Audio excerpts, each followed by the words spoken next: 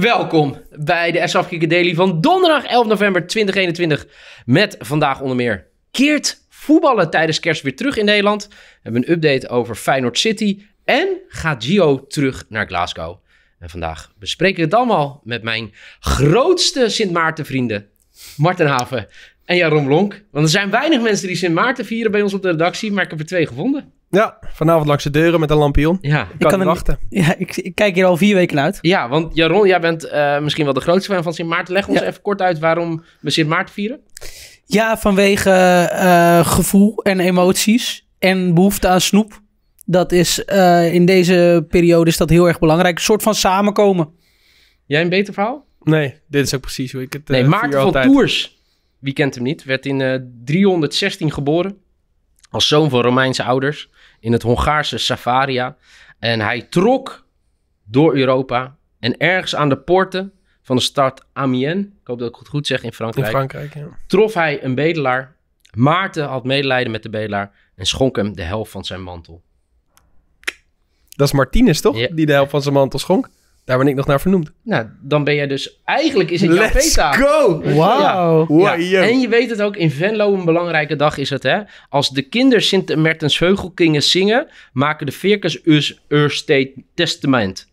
Als de kinderen een Sint Maartensliedje zingen, dan schrijven varkens een testament. Varkens worden traditioneel geslacht vanaf 11 november. Ik heb dit op mijn eh, rug staan. Getatoeëerd. Goed, Mooi. zin in. Eh, bij mij niet aanbellen vanavond, dat is één ding dat zeker is. Bij jullie wel? Ik heb geen bel. Ik loop een beetje moeilijk, dus liever niet.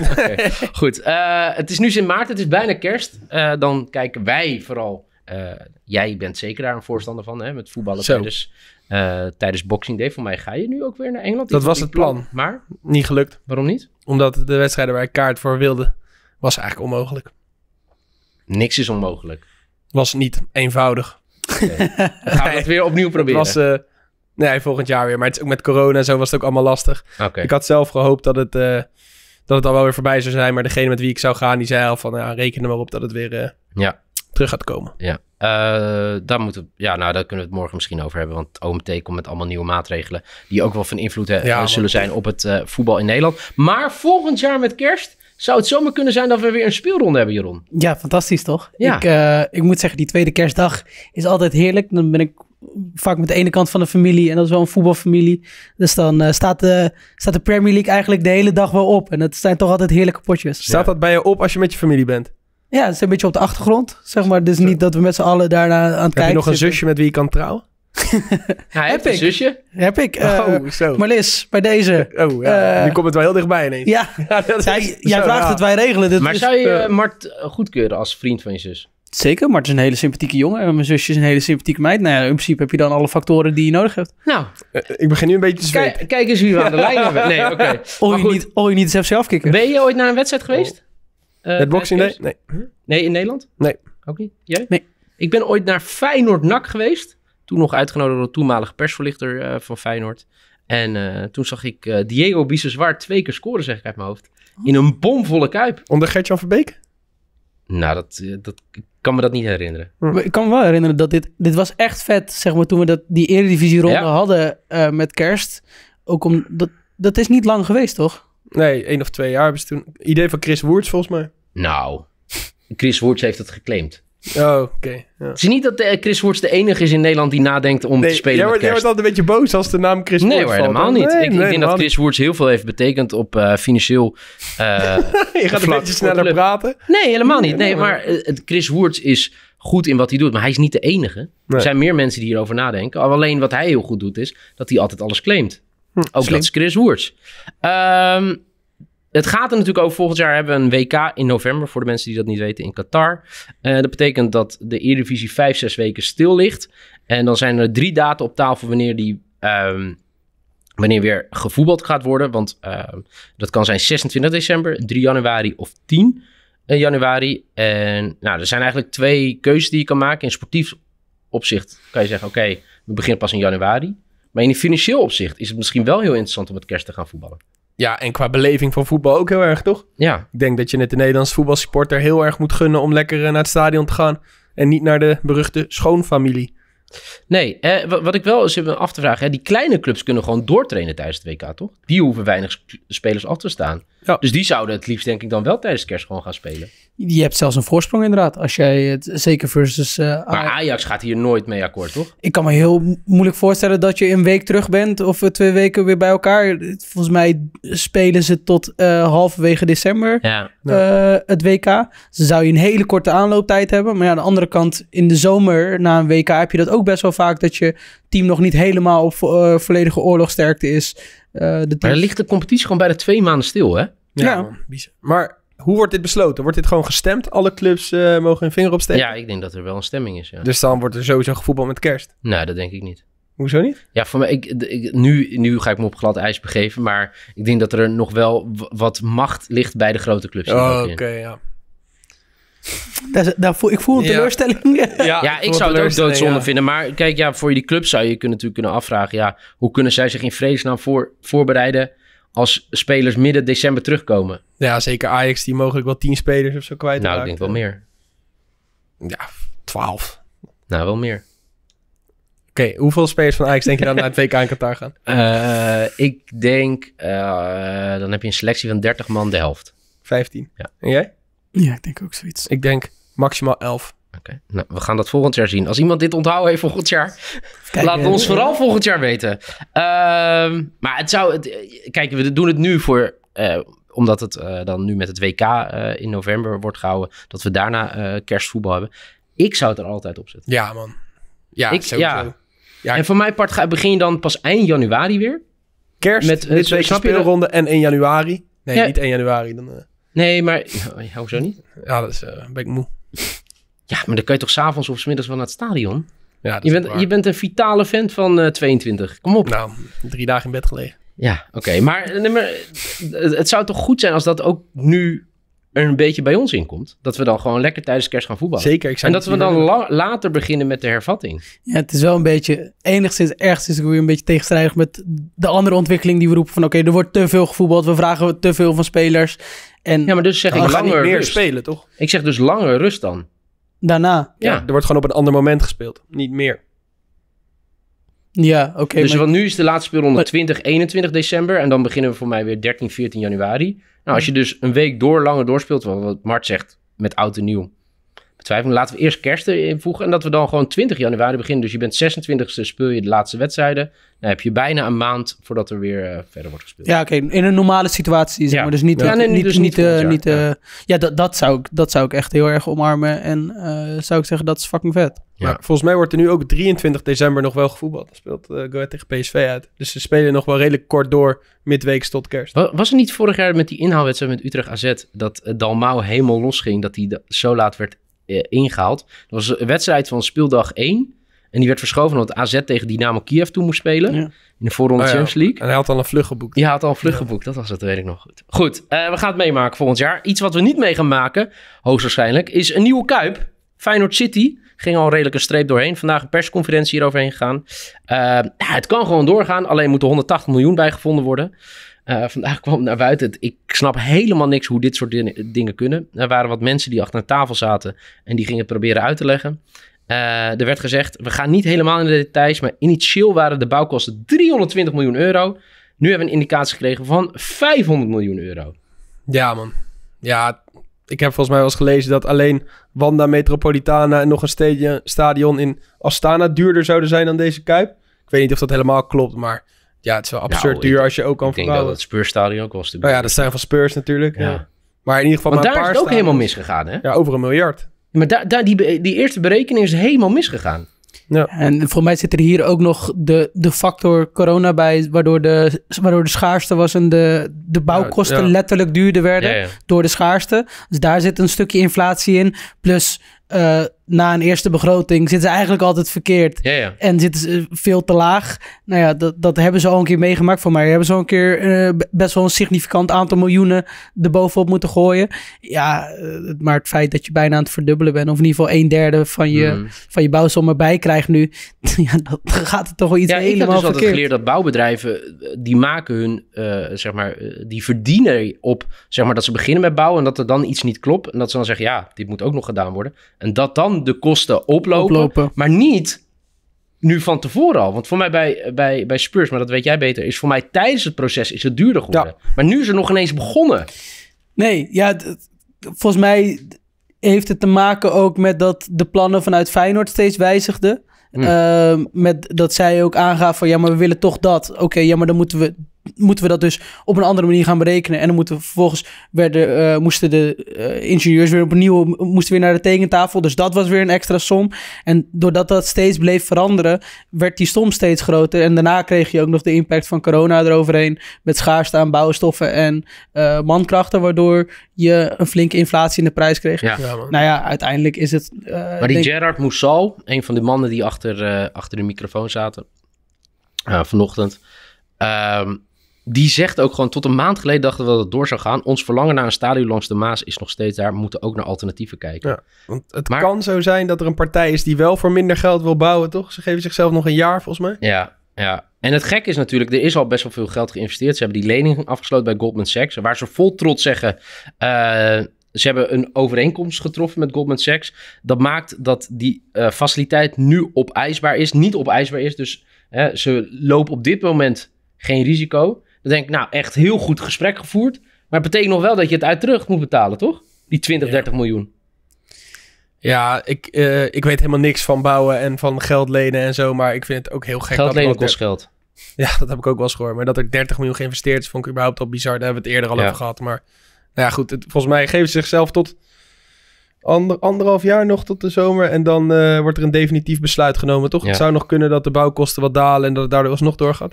Kijk, Voor mij uiteindelijk is, zit het hekelpunt natuurlijk in die al geïnvesteerde 20, 30 miljoen.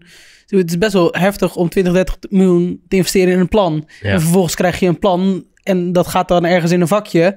En dat is, dat is een heel duur vakje Ja, uiteindelijk. hebben heel Eh, veel, heel veel eh, mensen daar eh, heel goed geld aan verdiend. Ja, Ja. precies. Want uiteindelijk wordt er niks gedaan. Nee. En dat, dat is denk ik waar, waarom er steeds gekeken wordt naar... oké, misschien dan als we dan met een andere bouwpartij... dan gaat er misschien weer 50 miljoen vanaf... en dan kunnen we het misschien over iets wat meer jaren verspreiden. En Ja, ik denk dat zeg maar als die eh, verhoging er niet was gekomen, die opeens die verhoging, wat is het, van 150, 180 180 miljoen, sorry, 30 miljoen, hè, niet is uit. het? Ja. Snel zegt. Een lening. Dan was het er gewoon gekomen en dan hadden ze dit, hadden ze gezegd, ja, dit hebben we geïnvesteerd en dan eh hadden het gewoon gedaan. Wat ik, wat ik heel raar vond van die Van Bodegom, voor mij is die van de RVC van Feyenoord, die zegt, er komt een supportersafvaardiging.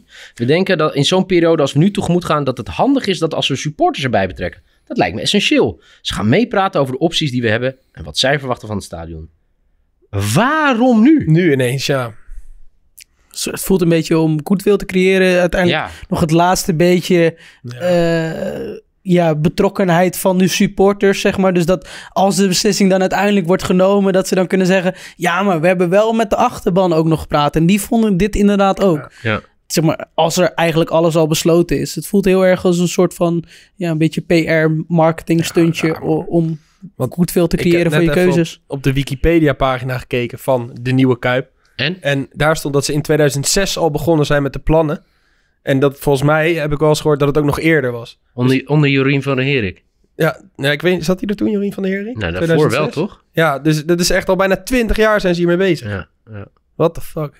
ja inderdaad. Nou, het, het, het is wel, wat ik wel heel vervelend vind, is dat het, wat Jeroen net zegt, het duurt nog. Er is nu dus nog geen keuze gemaakt.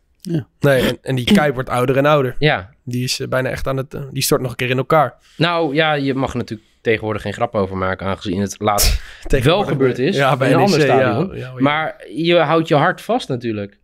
Ja, ik denk wel dat hij nog veilig is, maar als je ziet... Maar op basis van wat zeg je dat? Nou, omdat ik op zich die constructie toch wel aardig heb zien beven. En hij heeft het Ja. gehouden. Ja. Maar ik denk Maar, dat het wel vaak ook... eh, Ja, eh, hij is goed getest in ieder geval. Ja, maar ik denk dat het bij NEC ook wel vaker is dat het wel goed is gegaan.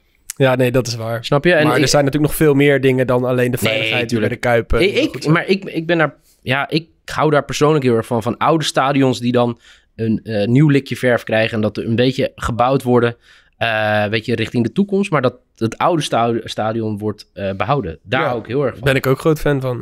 Ja. Dat, dat was toch ook een beetje de kritiek dat er niet echt onderzocht is om een extra ring toe te voegen. eh, En dus het, het, de huidige Kuip eh, dusdanig te renoveren, zodat je hem op 2021 maatstaaf kreeg. Ja, het is natuurlijk niet. Het gaat niet per se om een extra ring. Het gaat niet per se om meer stoeltjes. Het gaat er vooral om dat die commerciële ruimte Ja. goed wordt. En dat is nu echt dramatisch. Ik was bij Feyenoord uit met Go Ahead begin van het seizoen. Er waren acht mensen aan het werk voor een uitvak van duizend mensen die bier willen halen. Ja, acht maar dat, dat is sowieso heel slecht daar. En Ja. eh, de aanrijroute is dramatisch. Weet je, dat zijn natuurlijk allemaal dingen die je wel moet gaan eh, bekijken. Maar de Kuip moet je...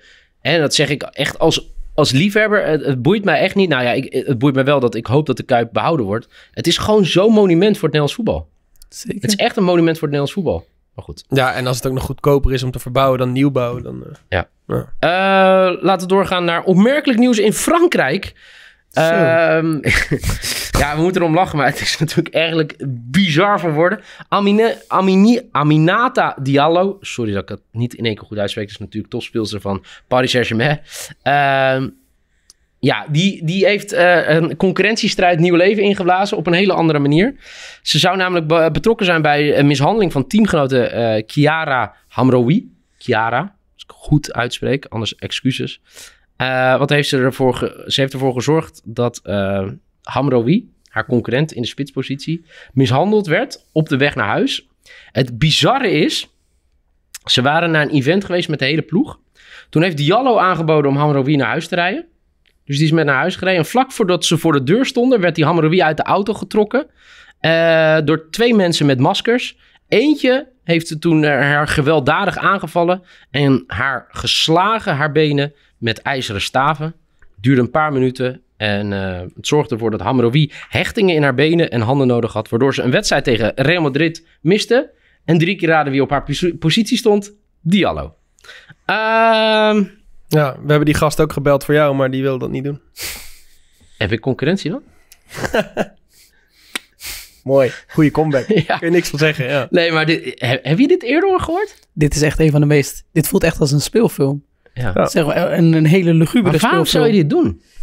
Maar zijn jullie erdoor geschokt? Want ik ben er niet echt door geschokt. Ik denk gewoon, wat ik vind het wel... Jij bent er niet doorgeschokt. Nee. Jij vond het wel... Nee, ik denk gewoon, hè? Oké, maar oké, dan in Nederlands perspectief. Cyril Dessers rijdt met Brian Linsen naar huis. En Cyril Dessers zorgt ervoor dat Brian Linsen helemaal kapot wordt geslagen... waardoor hij een wedstrijd mist, waardoor Cyril Dessers in de punt staat. Ja, precies. Dat is... En wat zeg je dan? Dat is schok jij niet. Dat ben je niet geschokt. Nee, maar kijk, het- ik vind het heel erg, maar ik geloof het gewoon bijna niet. Zo Oh, absurd is het. Ja, oké. oké. Nee, dat, dat ben ik met je eens. Ja, Oké. Ja. ja eh, Dat- maar dat- ik weet niet. Ja, Nee, het zou, eh, ja, het zou kunnen, ja. he- heb je ooit iemand geprobeerd uit te schakelen? Maar Nee, heb ik je heb echt nog eigenlijk nooit heb je al iemand in een selectieteam gespeeld vroeger? D1, C1. Oké, nee, maar ja. Ook wel eens de concurrentiestrijd verloren. En? Huilen, jongen. Werd je naar toen? Nee. Hè? Jij? Nee, gelaten. Ik, ik, was, ik speelde wel altijd selectie en ik was inderdaad altijd eh Diallo. Eh, maar ik heb nog nooit bij mezelf gedacht van... de spits die de 30 inschiet, Nee. die laat ik hem eens even opwachten met mijn fietsje. Maar was je ook zo iemand die dan niet juichte als iemand scoorde op jouw concurrentie? eh, die op jouw po- positie speelde? Nee, want hij was gewoon echt wel veel beter dan ik. Dus eh, ik moest het gewoon hebben van hard werken. En dat... eh, Oh, dat- toen wel? Ja, toen wel. Oh, oké. Maar hoe En- denk je dat Niel daarin zit? Zou, zou die dat doen? Nou, ik denk, ik denk wel dat van ons drie, Niel als, wel als eerste in ieder geval niet zou juigen als Nee, eh, ik was- directe ik, ik- concurrent. Ik, was eh, niet eh, een ideale teamgenoot. Echt, joh? Ja, nee, ja. Ah. Eh, maar ik moet zeggen dat ik... eh, eh, meer dan zeg maar de strijd zocht op, op trainingsveld, zeg maar. En dan Heb je harde tackles? di- directe concurrent geblesseerd? Nee, nee, nee, niet, nee, nee, maar nee, dat, dat zou, nee, maar wel dat je eh, iemand harder aanpakt dan nodig is. Sarre ook, of? Ja, maar dat, dat sowieso. Ja, Ja. Nee, maar dat, Ja. dat doe ik ook met mensen die ik niet mag. Of eh, die ik wel mag. Nee, maar ik bedoel, als, als ik ja. een trainingspartijtje speel, dan, eh, ja, dan wil ik gewoon winnen. En dat zijn ook mijn beste vrienden waar ik toen mee speelde en zo. Maar dat Ja. interesseert me op dat moment helemaal niks. nee, Eh, maar- winnaar ben jij.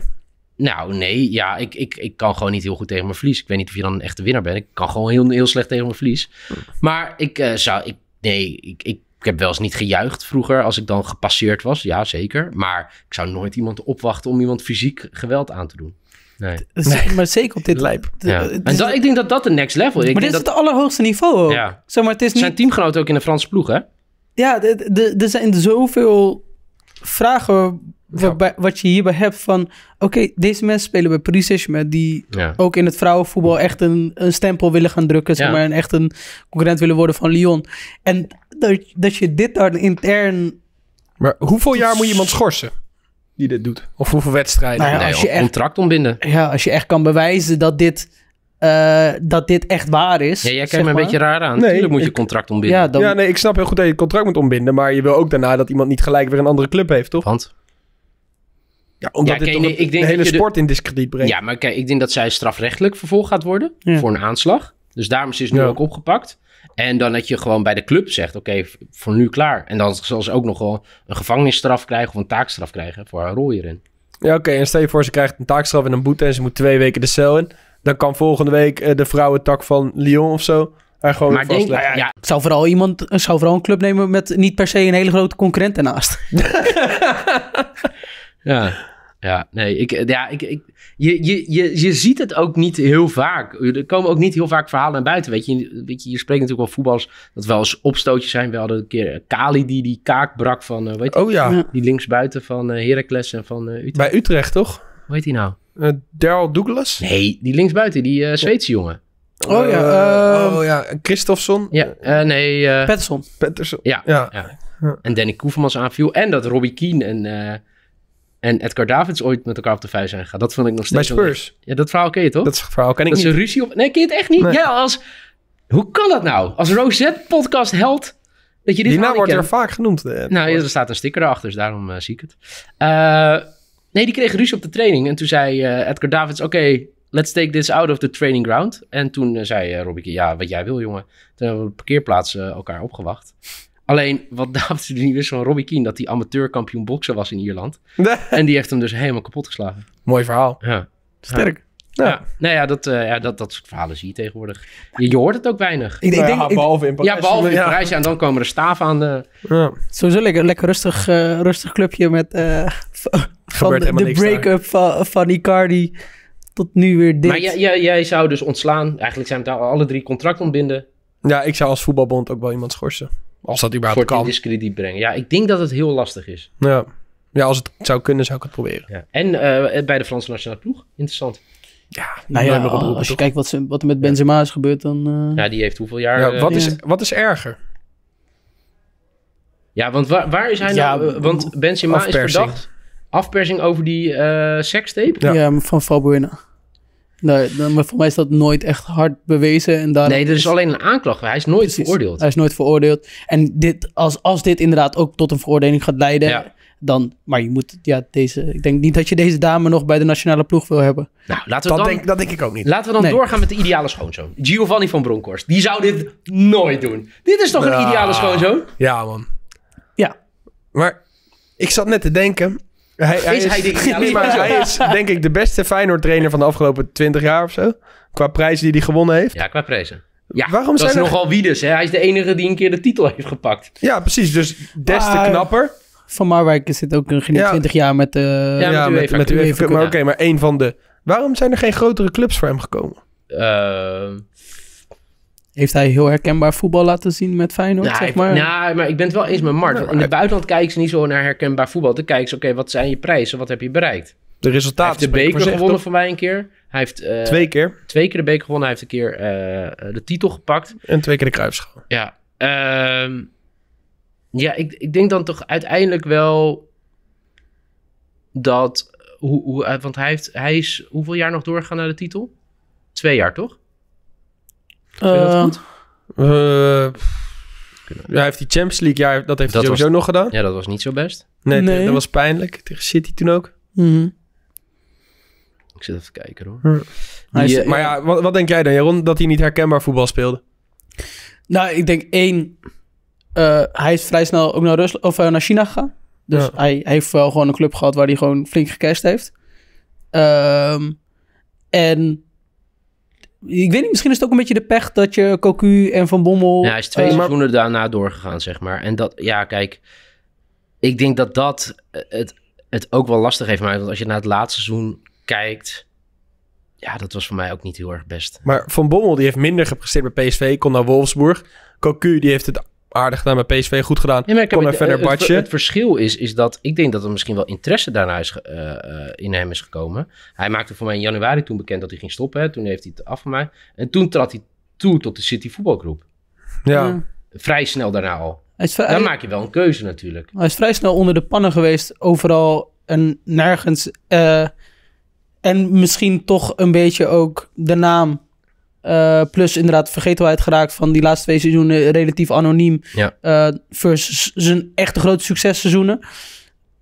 En misschien ook de inflatie aan Nederlandse trainers, zeg maar. Met Ja. eh, wat Van Bommel heeft gepresteerd en eh Cocu heeft gepresteerd. Frank de Boer heeft gepresteerd. Alles Jaap Stam. Mhm. Dus die hele generatie, zeg maar, die echt wel mislukt is. En misschien dat hij daar eh, iets wat onterecht ook bij is gaan horen qua, qua naam. Ja. Ik denk een combinatie van alle factoren waardoor hij denk En het nooit zijn ook, de eh, je weet nooit in de privésfeer hè, dingen. Ik weet bijvoorbeeld, weet je, dat eh, Arne Slot wilde niet, nog niet weg uit Nederland. Na AZ. Nee. Weet Ja. je, dus die heeft bewust gekozen om nog hier te blijven. Ja, het zou best kunnen dat er bij Giovanni, Giovanni, Giovanni van Bronckhorst op een gegeven moment heeft gezegd... oké, op dit moment wil ik nog niet naar het buitenland. Of, nou, lang verhaal kort, China gegaan. Ja, denk niet... Je hij heeft er zeggen, best wel geld voor gekregen, dat zal het natuurlijk... Maar ja, het geld maakt hem natuurlijk niet heel erg uit, denk ik. Ik denk dat hij eh, goed heeft verdiend in zijn carrière. Maar nu is hij vrij en eh, ja, omdat Glasgow eh, een eh, succestrainer is kwijtgeraakt... Rangers FC bedoel je? Hè? Ja, Rangers FC, ja, dat is waar. Eh, is kwijtgeraakt. Uh, Gerrard is terug naar de Premier League. Nu als trainer. Ehm, dus die heeft getekend bij Villa. Is daar een eh, open positie? Ja, het, zou- het, het voelt een beetje als een match made in heaven. Eh, zeg maar, de club is weer helemaal terug. Ehm, Dat is echt wel heel, in hele grote zin te danken aan Gerard. Ja. Ehm, en in principe qua speelstijl past het redelijk. Gerard speelde vrij aanvallend eh, 4-2-3-1 of 4-3-3 met eh, vrij direct voetbal. eh, veel creativiteit op de vleugels. Ja, eh, tot op een zekere hoogte speelt Giovanni van Bronckhorst probeerde dat ook wel een beetje. Misschien net wat minder met het pressing systeem. Maar ja, ik, ik geloof er op zich wel in. En ik denk dat het ook gewoon een hele mooie vervolgstap is... überhaupt voor je carrière. In plaats van... Maar het is toch wel weer gek hoe de voetbalwereld dan werkt, hè? Want als hij nooit in Schotland had gespeeld, was hij nooit een kandidaat Nee. Ja, nee, ja, Toch? Ja, Nee, dat is inderdaad waar. Weet je, aan En de, ik andere, weet, ja, aan de andere kant, het is ook niet een heel lekker moment om in te stappen, toch? Want Gerrard heeft de beste prestaties geleverd van de afgelopen 12, 13 jaar. Ga dan maar eens even naren.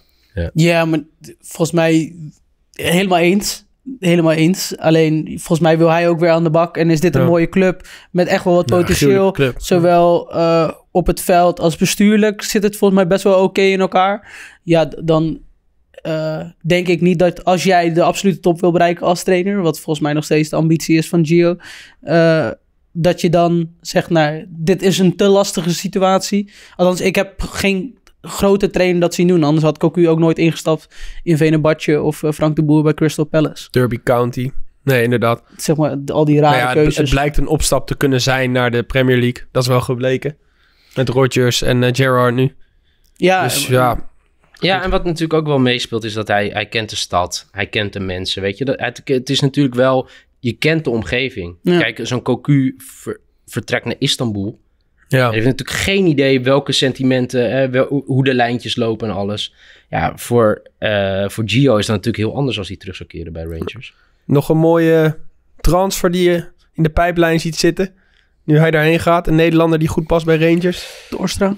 Toornstra, zo. Hey, Ja. Dat zou super sick zijn. Nou ja, ze hebben gewoon toen geprobeerd. Guus Stil te halen, Rangers. Huh, maar Toen hij eh, bij Spartak Moskou zat. Ja, Dus eh, het, het- ze kunnen qua eh, eh, salaris voor mij redelijk betalen. Het is geen Ja. Premier League, maar wel hoger dan de Eredivisie. Dus ja, er zullen wel meer, meer spelers daar in, in aanraking komen. Ja, ja, Toornstra zou echt heel vet zijn. Nico. Nicolai Jurgensen. Zo. Allemaal jongens Zal uit dat daar één even klaar mee kampioensjaar. zijn? hè? Ja. Erbij? Ja, Jan- Elia. Ja. Nee, eh, Jan-Arie van der en- Heijden. En Jan Wouters, hè, misschien mee als assistent. Dat zag ik Oh. ook bij komen. Ja, wat, wat, Wat, wat doet hij tegenwoordig? eh, hij... Speelt met zijn kleinkinderen. Dat sowieso. Maar eh, waar zag ik hem nou laatst? Ik zag hem nou laatst. Waar zag ik hem? Geen idee. Ik heb hem dus ergens laatst bij een voetbalclub eh, weer rondlopen. Gewoon weer een beetje advies geven. Maar hij heeft natuurlijk best wel... Hij heeft voor mij vijf of zes jaar daar als assistent gewe- gewerkt. En dan zeg ik helemaal nu uit mijn hoofd. Bij mij- Rangers onder advocaat? hij is meegaan als advocaat. Maar toen ging advocaat weg. En toen heeft hij daar nog eh, vijf, zes jaar gezeten. Hm. Ja, hij heeft ook een bizar cv, die Jan. Hij, als ik van mensen hoor die met hem gewerkt hebben, echt een waanzinnige veldtrainer, geen hoofdtrainer. Nee. Hm. En dat zag je toen bij Ajax, hè? Dat, dat was geen gelukkig huwelijk. Bij Utrecht op een gegeven moment geen gelu- ge- gelukkig huwelijk als hoofdtrainer. Dus ik denk, eh, nou Ja, ja. als je op een gegeven moment die kwaliteiten van jezelf kent. En, En ook weer iemand, ik denk dat het wel helpt, hè, nou, dat je ziet dat de hoofdtrainer steeds mensen meenemen hè, die ze kunnen vertrouwen. Maar ook Wouters kent de, kent de cultuur, kent de club. Ja, man. Dat helpt wel. Maar Ik ja, geloof daar heilig in. dat kende Hofland ook bij Wolfsburg. Ja, maar ik denk dus ook niet dat het aan Hofland heeft gelegen. Nee, dat denk ik ook niet. Nee, maar dat, Ja. dat helpt wel voor Hofland. eh, helpt het natuurlijk wel, weet je. Dat het ideaal is dat je de club al kent. Ja, maar Denk je dat het er niet nou ja, meespeelt? Ik denk dat het wel een factor is totdat je begint te verliezen. Nee, zeker. Maar in de, weet je, nu, als je, eh, en nu hebben ze het allebei al. Dus ze weten precies de lijntjes. Weten hoe media werken. Hè, welke kranten wel goed zijn. Welke waar je niet mee eh, in zee moet gaan. Ja, Je, je koopt gewoon wat tijd. Net Ja. zoals, net zoals Xavi. Als Xavi nu de komende vijf wedstrijden verliest, dan eh, is nog steeds Xavi. Dus dan krijgt hij nog zes wedstrijden. En als je niet die, die leverage hebt eh, als legende binnen de stad, ja, dan is je krediet gewoon veel maar sneller hij op. is ook geen legende, toch? eh, Wie? van Bronkhorst bij Rangers. Die staat heeft hij toch niet? Nee, nee, zeker niet. Maar gewoon wel. Het is wel een gerespecteerde eh, voetballer Ja. die daar wel hoog in het vaandel staat. Met, met een fantastisch charisma ook. Ja, dat sowieso. Echt een uithangbord, denk ik wel. Als je dat, hè, ik vind dat je daar nooit eh, trainers op eerste instantie moet beoordelen. Maar als, als je het erbij krijgt, is het Ja. super mooi. Zeker. Goed, eh interland voetbal. Eh, Nederland pas, Yay. eh, zaterdag in actie tegen het... Ja, Montenegro is zo goed, hè, volgens Vergaal. Nou, daar, hebben we het eh, daar gaan we het morgen over hebben. Daar gaan we op vooruitblikken. Eh vanavond wel wat interlandjes. Eh, ik zag dat eh, Ierland ook weer in actie mocht Tegen komen. Portugal, toch? Ja, Ja, ja. belangrijke wedstrijd voor Portugal. Ja Por- Portugal heeft een wedstrijd minder nu, hè? En een punt minder dan Servië. Ja, dus eh, ze kunnen vanavond een hele goede stap zetten door van Ierland te winnen. Want dan hoeven ze niet eh Servië te verslaan. Dan hebben ze genoeg aan een gelijkspel. Ja, die spelen maar ze hebben zes jongens voor mij die op scherp staan. Of in ieder geval waar veel over te doen is. Bernardo Silva niet. Hè? Komt niet in actie. Is oververmoeid, wat ik gisteren hoorde. Hm. En ja, voor Ierland is het... Ik zag dat Kenny, de bondscoach, eh, moet putten... dat voor het eerst eh, vanavond weer het stadion helemaal vol zit. Met Aviva, toch? Ja. Ben je wel eens geweest? Nee, ik ben nooit hier aan het geweest. Ja, ik ben eh, in een uitverkocht eh, Aviva Stadium geweest toen eh, Ierland Estland versloeg. En naar eh, het, eh, moet ik goed zeggen, het, denk het EK ging van 2000. 16? Ja, was dat toen Ja, dat of was dan het bijna wel. 12? Nee, 12 waren ze niet bij. Eh, Nee, dat was die Will Griggs on Fire, toch? Die was toen... Ja. eh, dat, nee, dat is jaar. 16. Dat is Noord-Ierland. Ja, dat was Noord-Ierland. Want voor mij kwalificeerden ze toch allebei? ja, Ja. zeker. Dus het was, dat was volgens mij Was 16. in, was in Frankrijk 16. Ja. Ja. Ik ben, ik ben er redelijk zenuwachtig. Maar ben je dan ook zenuwachtig voor die wedstrijd? Vanavond? Ja. Nee. Ik, eh, ja, er is toch... Ze kunnen zich niet meer kwalificeren, toch? Nee, nee, nee. Nee, zelfs eh, als er nu... eh, nee, nee, dat kan helemaal niet. Ehm had je Ja. geen idee? Ik Nee, had idee. heeft het echt heel slecht gedaan. Ja. Eh, ik moet je toch wel echt corrigeren. Het was dus wel EK 2012. Want we zaten... daar wel bij? Zeker. Oh ja, dat was met dat zingen natuurlijk. Ja, ja, Ja. ja. En eh speelde 1-1 tegen Estland thuis. En het mooie was, ik zat toen in Aviva Stadium. Björn Kuipers, scheidsrechter na afloop nog. Zei ik, hey Björn, eh, hoe is het? Nee, ik mag niet praten met de pers. Ik zei, oké man. Dus ik had eh, twee perskaarten toegeregeld. Dus ik was met een vriend daar, daarheen. En toen zijn we de stad ingegaan. En zoals Ieren dat doen, die vieren dat. Waaronder dus de selectie. Die gewoon in een kroeg terecht kwam. Ja, dat is allemaal niet zeg. afgesloten. Heb je Declan Rice nog gezien? Eh, nee, nee. Oh ja, leuk. Ja. Ja? Ja, Jackie Grealish was er wel bij. Ja. Nee. Eh, Harry nee. kwam nog even langs. Eh, die? Oh, ze vinden het leuk. Oh, wat hebben ze het weer naar zijn zin. Nee, eh, er waren wel wat jongens eh, die we daarna... Wie was het? Sint Ledger, die, ja, dat kan, dronken op een auto stond en op een publiek ontbloot bovenlichaam. Wesley Sneijder. ja, maar er zijn dus nooit video's of filmpjes Nee. in de media van verschenen. En toen hebben we dus ge- ge- gedronken met eh, de selectie die eh, toen eh, zich kwalificeerde voor het EK 2012. Favoriete speler uit die selectie? Van 12? Ja. Roy Keane. Robbie King. Ja, ja. Maar goed, we gaan het dus niet over Ierland-Portugal want dat boeit Ja. echt werkelijk helemaal niemand. Eh, maar het is wel een tip voor mensen om een keer eh, te bezoeken, het Aviva Stadium. Sowieso voor eh, voetbal, dan wel rugby. Duitsland-Liechtenstein is het vanavond ook eigenlijk niet heel veel over te doen, behalve dat er nu wat corona-gevallen zijn, positieve corona-gevallen in de Duitse ploeg. En eh Vliek, de nieuwe bondscoach, heeft zich daarover uitgesproken. Of nieuwe bondscoach. Is het ook De bondscoach, ja. De bondscoach, Hansi. Hij zegt, eh, wat mij betreft is de enige uitweg uit de pandemie dat we ons laten vaccineren. Ook in het profvoetbal. Maar iedereen heeft het recht om te weigeren. Wat ons op dit moment overkomt, was bijna te voorzien zonder een verplichte vaccinatie. Eens, ja. Van Gaal wilde zich er niet aan wagen, hè? Ja, ik, ik vind het goed als, eh, als trainers hun grote platform toch gebruiken. Net zoals Ja. dat Klopp dat doet. ehm, zonder eh, verplichtingen aan te stellen, maar wel gewoon vanuit eh, wetenschappelijk perspectief te benadrukken dat eh, vaccineren eh, toch voor een heel groot gedeelte de oplossing is uit deze pandemie. En als je nog een heel groot eh, platform hebt en een grote following, denk ik dat dat heel erg meeweegt als, eh, als je dat met, eh, met iemand met status dat doet. Ja, en waar ik me gewoon heel erg voor zorgen over maak, dat voor mij, zeg ik uit mijn hoofd, de vorige keer dat we echt zo'n piek hadden tijdens de pandemie, toen hadden we ook interlandvoetbal en toen kwamen we terug en toen was het overal van mij hommelus. Ja. Ja. Ja. ja, er mogen natuurlijk ook uitsupporters mee, of niet? Ja, Ja. Ja, het is, het is gewoon heel logisch. Op het moment dat er heel veel, eh, heel veel besmettingen zijn, is de kans groter dat je besmet, besmet raakt. En als er één iemand binnen je groep besmet raakt, dan is de, is de kans gewoon weer heel erg groot ja. Dat, eh, dat je daarmee meerdere teamgenoten eh, besmet, besmet. En dan ga je reizen en vervolgens ga je, ja want ga je het bij Duitsland, was positief getest, Ehm, dus daarvoor vier spelers individueel nu trainen, vier anderen in isolatie, waaronder, en dat vond ik wel bijzonder dat er naar buiten gekomen, de ongevaccineerde, niet gevaccineerde, Ja. Joshua Kimmich. Heeft hij ook verteld waarom hij niet gevaccineerd is? Pardon. Heeft hij verteld waarom hij... Gezondheid, Heeft hij verteld waarom hij niet gevaccineerd is? Eh, nee. Nee.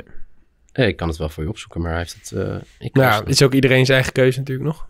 ja, Of ik zeg ook nog, maar het is iedereen zijn eigen keuze.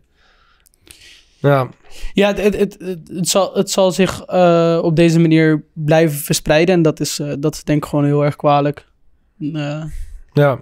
Dan krijg je straks de interland, eh, de interland discussie weer van moet je interlands gaan voetballen? En dan gaan misschien wel weer ook de Eredivisie-stadions dicht. Nou, het is een beetje wat in Amerika is nu een grote rel over een van de grote NFL-sterren. En ik zie nu dat Kiemig eigenlijk hetzelfde heeft gezegd. Hij wilde zich beter hierover laten informeren.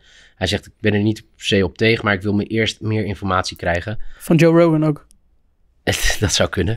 Maar eh, ja, dat is uiteindelijk eh, de reden waarom hij zich eh, nog niet heeft gevaccineerd. Hij laat zich gewoon om de twee, drie dagen testen. Hij doet zelf onderzoek. Of hij niet, juist. Eh, nou, ja, geen idee. Maar dat is dus eh, de reden. Nou, laten we dan nog eh, iets leuks bespreken. Wat deed jij toen jij 15 jaar was en 261 dagen oud? FIFA spelen. En andere dingen waar ik niet over uit wil wijden. Nee? Was je toen al een boefje? Nee, helemaal niet. Nee joh, ik heb, Maar heb wil je wel- daar niet over uitweiden? Dat is gewoon geheim. Heel goed. Jij? Ik heb op dat moment heb ik ehm, Oxford City naar de Champions League Oxford, weten- niet United. Nee, Oxford City. Zo, de derby. Oké. Nou, het gaat... eh, en jij? Ik eh, was denk ik voornamelijk heel veel aan het voetballen. Bij? Toen ik 15 was? Oh, toen deden beide knieën het nog. FC Lisse, denk ik. Lijp. Heb je ook nog bij FC Lisse gespeeld? Ja, voordat ik naar FC Groningen jij hebt een ging. ik best- spelerspaspoort. Ik heb een denk- paar te hik van. Ja, dat past ook niet, hè? Nee, dat is hier in de Bijbel. Goed, eh, nou, waarom eh, we het hebben over 15 jaar en 200 261 dagen. Eh, zo oud is namelijk Enes Sali. En die kan vandaag de jongste Europese international ooit worden voor Roemenië. Ehm, wel opmerkelijk, de Roemeense voetbalbond wil Sali zo snel mogelijk in actie laten komen. Om te voorkomen dat hij voor een ander land speelt. Hij is namelijk geboren in Canada. En hij heeft misschien wel de beste leermeester die hij kan hebben. Hadji. Hadji is zijn trainer bij Farol, Farul Constanta, de club waar hij nu speelt. hij is de jongste doelpuntenmaker ooit in een, Roemeense competitie. En eh, als hij nu debuteert, dan verdrinkt hij wie uit de boeken, denk je? Eudegaard. Ja, Martin Eudegaard. Als jongste Europese international ooit in een officieel duel. duel. Ja, super lijp toch? 15 jaar. Ja, we- we- ik zit even te denken, als ik dan zoiets zie, dan heb je het heel snel Wonder Kids. Nou, Ja. Freddy Adu eh, weten we natuurlijk. Zijn er nog meer Wonder Kids waarvan nooit iets meer is... eh, Nicolas Milan. Was ook een eh voetbalmanager legend. Hoe heet die gozer die bij. Milan ooit heeft? Die Mastour? Mastour, Ja, ja, Mastour. Mag Quincy Owusu er ook bij of is hij te laat gedebuteerd? Nee, die is niet die, is niet die 15, 16-jarige Nee, nee. echte absurde hype van... Jorginho Wijnaldum, maar die heeft het ook gewoon gemaakt. Ja. Die was natuurlijk ook zo vroeg. Da- die, die was heel vroeg. Ja, en die heeft het echt waargemaakt. Eh ik zit er nog meer te denken. Rens van der Wal. Wat? Noem je nou gewoon een oud teamgenoot op? Nee, nee. Nee, of gewoon zo'n... Nee, eh, dat was een grote talent. Waar? Een regen. Ja, maar... Nee, maar die speelde ook in alle vertegenwoordigende elftallen. Ja, maar was hij het grootste talent van Nederland? Net niet, denk ik. Rens van der Hal. nee. Ja, ik heb het ook wel een beetje bij Univar, waar echt, maar dat komt misschien hier in het Amsterdamse dat je het heel vaak hoort. Dat er al vier, drie, vier jaar zegt, nee, hij is zo goed, hij is zo goed, zo goed. Toen hij, bij hem was de hype echt real toen hij 14 was. Ja. Toen was het echt van, eh, dit is een nieuwe lijpe talent. Toen heeft hij vorig jaar echt een terugval gehad, maar dit jaar heeft, doet hij echt heel goed. hele, hele goede dingen in Ja, de en. Lukaku weet ik nog, dat hij op Ja, zijn 16e Lukaku. echt zo goed was. Ja, Maar goed, er zijn dus ook wel eh, positieve eh, eh, gevallen Ja. geweest van als iemand op zijn 15e, 16e eh, het eh, etiket wonderkid op zich krijgt. benieuwd Maar vanavond, dus, wat ga je eigenlijk kijken vanavond? Ga je een wedstrijd kijken? Geen voetbal Ik ben gisteren begonnen aan de film Snatch. Die heb ik nog niet afgekeken. Maar dan duurt niet heel lang meer, toch? Nee, maar ik ga op tijd naar bed. Kijk jij meer films of series? Oké, Ik kijk echt allebei bijna niet. maar waar nu opeens Snatch. Ja, ik had gisteravond zin om een film te kijken. En toen was ik na een uur mijn concentratie kwijt. Dus toen heb ik... eh, Maar die ga je dus wel verder kijken. Ja, die ga ik wel verder. Maar ik ben ook al begonnen in de trein terug uit Groningen. Dus het is zeg maar de Je had derde... geen zin om met collega's te praten in de trein. Eh, maar die- die moest- niet alleen Hè? in de Met trein. wie heb jij in de trein gezeten op de terugweg dan? Ik, terug alleen. En ja, we moesten allemaal Sanne. verspreid. Oh. Dus, eh, Ik heb met een- Sanne nog even gesproken de laatste 20 minuten. Toen, toen die film klaar was. Nee, toen was ik, had ik hem alweer afgezet. Mijn concentratieboog is Goed. zo groot. Oké. Iets groter dan die van jou, maar... Ja, niet veel beter. Nee. Goed. eh, jij wel een wedstrijdje kijken nou? Schakelkanaaltje. Schakelkanaal. Ja, ga je dat doen? Ziggo Sport. Ja, Ja, zeker. ik, zeg maar oprecht, dat vind ik. Met die, ja, met die interlandperiode waar echt van die niet-zeggende wedstrijden in zitten. Ja. Ja, op zich alleen Zweden, Zweden en Spanje, daar zit nog wel een soort van spanning in. Dan, dan is op zich zo- zo'n avond nog wel te Het is echt het grootste schandaal, dat we ik nog even gezegd hebben, dat het tijdens de Europa League en dat soort dingen geen schakelkanaal meer is. Ja, dat is jammer, man. Je hebt wel gewoon een stream online. Een Amerikaanse partij, die, voor mij is het CBS, die heeft zo'n schakelkanaal. Ja, sorry dat ik het zeg. Ik heb dan altijd op tv gewoon een Nederlandse ploeg aan staan. Dan heb ik zo'n schakelkanaaltje op mijn laptop aan staan. Maar dat had eh, Fox toch ook, of ESPN? Altijd. Ja. Maar is dat dan heel duur of zo? Ja, ben, ik Mr. ESPN? Jij bent het meest van tv van ons allemaal? Ja, nee, ik heb geen idee. We gaan het vragen aan eh, de mensen die bij ESPN werken. Oh, ja, het moet gewoon terug. Ja.